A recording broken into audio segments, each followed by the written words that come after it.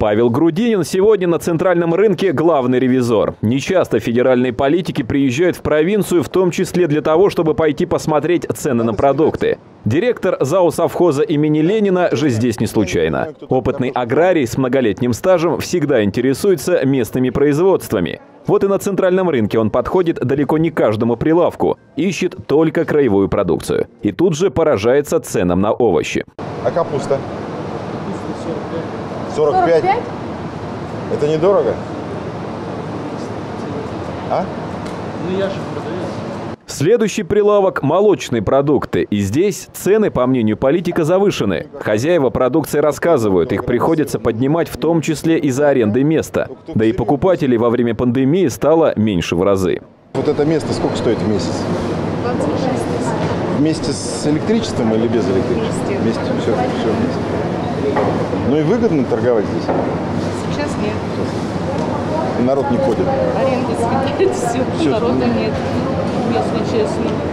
Краевой столице у Павла Грудинина была не только ревизорная повестка. Политик принял участие в Пермском форуме гражданских инициатив, где пообщался с фермерами, которые рассказали о проблемах в сельском хозяйстве. На мероприятии также присутствовали секретарь ЦК КПРФ Мария Дробот, первый секретарь комитета Пермского краевого отделения партии Ксения Айтакова и журналисты.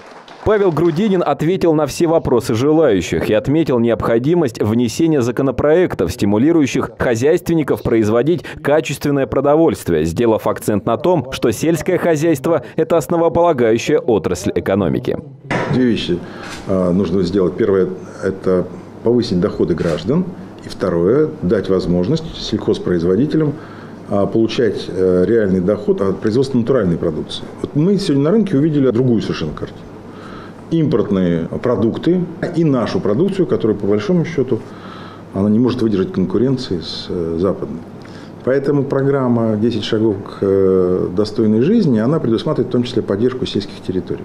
После форума представители Пермского краевого отделения КПРФ собрали для средств массовой информации специальную пресс-конференцию, где ответили на вопросы, в том числе касающихся предстоящих выборов 19 сентября. Из-за чего Пермский край стал единственным регионом, где Павла Грудинина не пустили ни на одно предприятие.